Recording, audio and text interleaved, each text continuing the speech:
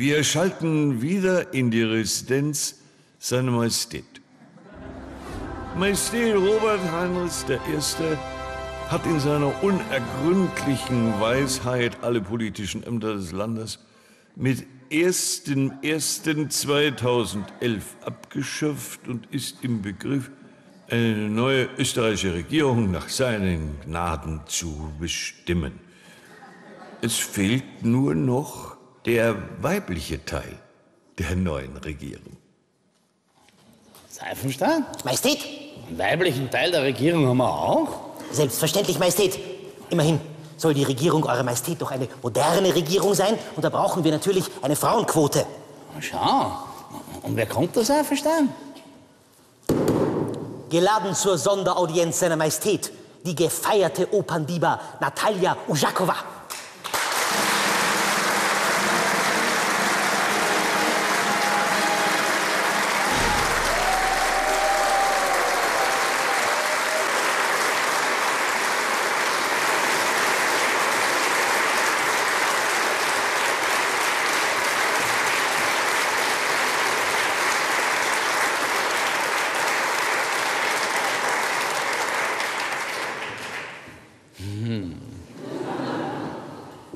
Seifenstein? Majestät?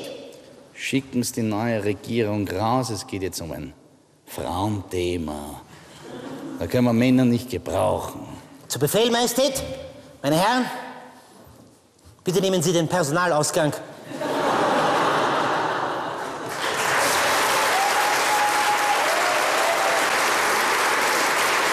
Seifenstein! Seifenstein!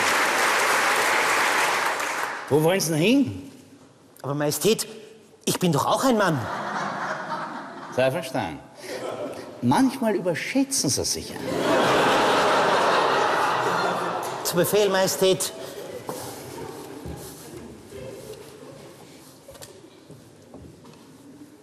Uschakova.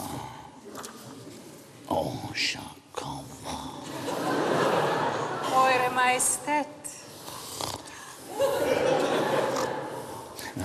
Ein super Akzent hat es auch. Ist der Oberösterreichisch? Wir haben uns gleich beim Namen haben uns gedacht, ah, Oberösterreicherin. Nein, ich bin nicht Oberösterreicherin, ich bin jetzt Wienerin. Wiener? Ich lerne Wienerisch jetzt. Zum Beispiel Wort Blatt.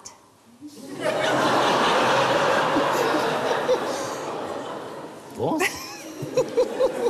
Das, Weil sie irgendwann mir sagen, mein Gott, du bist platt geworden. Hoffentlich passiert das nicht. Nein, nein. Von einem guten Menschen kann es nicht genug geben. Ja. Und so Grischbindeln, die schauen ja auch nichts gleich. Ne? Stimmt. Außerdem, wer sollte ihr sagen, dass sie blatt ist? Niemand. Und? Ja. Also in dem Kleid schaut sie schon ein bisschen. ja, aber schuld das Kleid. Ja, das Kleid ist schuld, ne? Das auch sehr gute, also Ja, das haben wir schon gesehen.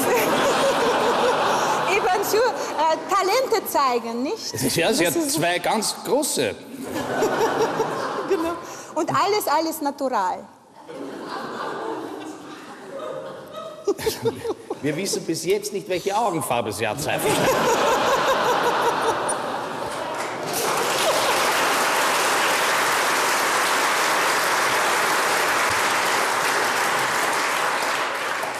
Ist Uschakova ein Künstlername oder ist das der richtige Name? Nein, das ist, äh, Eure Majestät, das ist Name von meinem Ur-Ur-Ur-Urgroßvater. Und er ist sehr berühmt, er ist Admiral Fjodor Ivanovich Uschakow. Und davon habe ich diesen Namen hier. Schau, Ich trage ihn sehr gern, diesen das ist ein Namen. russischer Name. Dann. Ja, das ist ganz russischer Name. Ja. Очень хорошо. Спасибо, дорогой. Мальчик и девочка. Правильно, браво. Карандаш.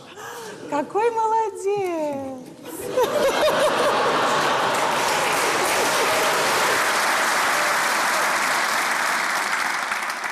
Sie ist ja auf allen großen Bühnen zu Hause. Stellt sich natürlich die Frage, hat sie keine Wohnung? Ja, das ist schade. Ja. Ja. ja. immer, Wo wohnt sie denn? Ja, in Hotels, in Appartemente, ab und zu in Flugzeug Wirklich? oder in, in, in Schiff. Einmal fast ins Leben gekommen, nach Sardinien Wirklich? gefahren, ja. Wirklich? Ja, Oben? wirklich wahr. Wie, wie ist das passiert? Ja, das bin, bin, wollte ich eigentlich also im Meer einfach äh, erleben, was es das äh, Meerkrankheit ist, nicht? Und dass ich mit, mit voller Züge... Seekrankheit? Seekrankheit, ja, Ja, ja. genau. Und das war nicht so schön. Das sollt ihr mal probieren, sich einen Nagel in den Zehen reinzuhauen. Ist auch nicht schön. Vielleicht findet ihr das auch so lustig. Nein, eigentlich, das war wirklich nicht mehr lustig, weil das alle haben gekotzt, tut mir leid. Ja, so alles.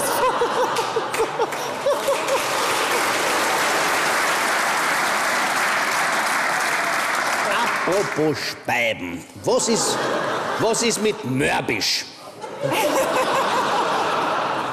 Ja, das habe ich äh, so in Mörbisch erlebt. Also sozusagen, ich war noch Studentin und ich habe äh, so wenig Stipendium bekommen. Ja. Und ich musste arbeiten, also ich habe geputzt. Sie war jung, privat. sie war jung und ja, hat ja, das Geld genau, gebraucht. Genau, ja. Ja, das haben Ja. wir auch lange als Ja, Ausrede. Das ja. geht jetzt nicht mehr aus, leider. Ja. Haben wir da Aufnahmen, Seifenstein? Zu Befehl, Majestät. Hofbildstelle.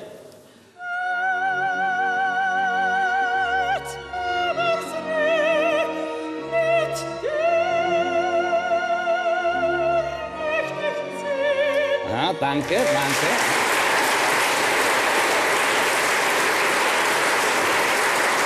Seifenstein, der schönste Gelsenstecker, den Mörbisch je gesehen hat.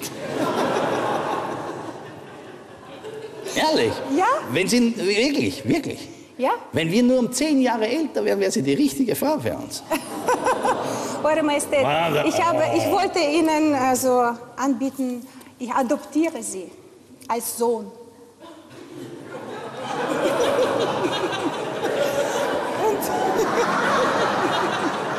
Wir sind aber noch nicht abgestillt.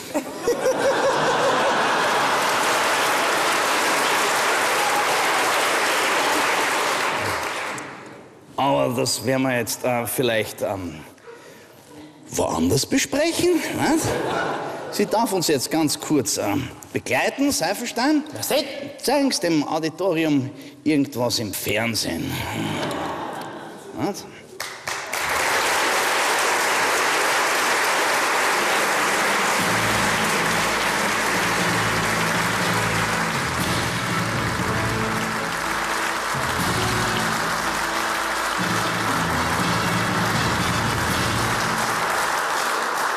Meine Damen und Herren, während seine Majestät offenbar einen anderen russischen Brauch kennenlernt, ist für Sie ein Dinner angerichtet und zwar ein Dinner for one.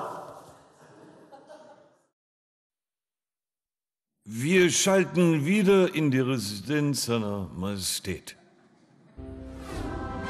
Die Weisheit unseres geliebten Kaisers hat alle Dimensionen gesprengt. Sämtliche politische Ämter im Land sind abgeschafft und unser Monarch wird sich höchst selbst um die Probleme seines Volkes kümmern.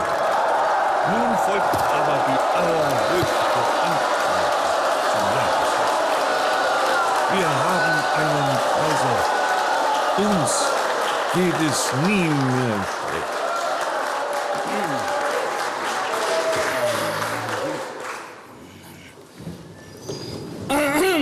Also, wir haben der Uschakova nur einen, einen Gesangsunterricht gegeben, Seifenstein. Nicht? Also, Verstehe, Majestät. zeigen Sie, was gelernt haben, Uschakova? Hm? Eure Majestät, Ja. ich habe eine Überraschung für Sie Noch eine? adaptiert für eine Musik von K&K Komponist Franz Leha. Eure Lippen, sie küssen so heiß, eure Glieder sind schmiegsam und weiß.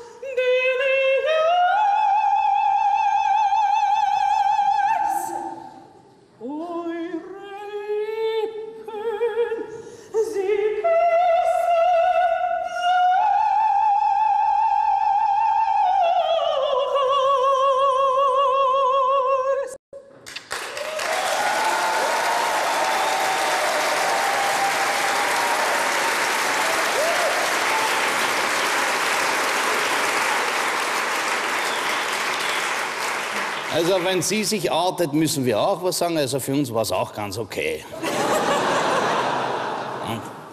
Also, Seifenstein, Majestät! wir haben uns entschlossen, dem Volk ein paar aufmunternde Worte für nächstes Jahr mit auf den Weg zu geben. Ausgezeichnet, Majestät. Wünschen Majestät die Anwesenheit des neuen Kabinetts? Ja, sind alle da? Vormärz!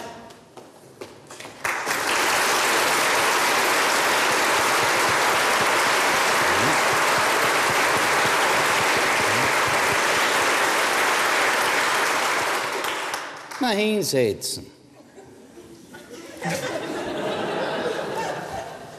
Ja, das ist eine Regierung, die tut, was ich sage. Das ist ganz nach unserem Geschmack, Seifenstein. Geliebtes Volk, liebe Untertanen, nächstes Jahr, nicht? Zicke, zacke, zicke, zacke, nicht? Alles super, nicht? Also, hm, Prost.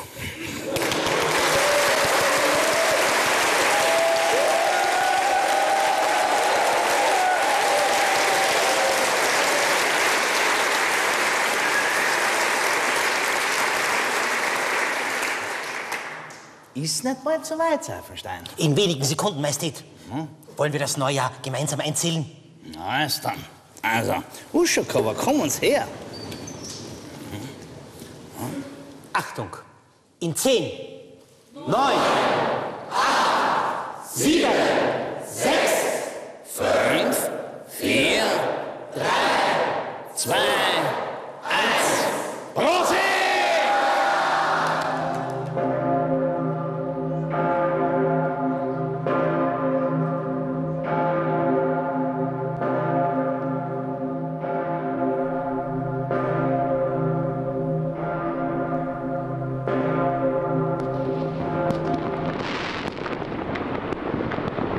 Der ORF wünscht Ihnen ein schönes neues Jahr.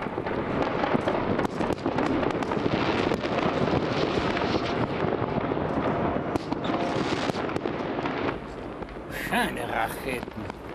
Schöne Raketen. Wie haben Sie denn das gemacht, Seifenstein?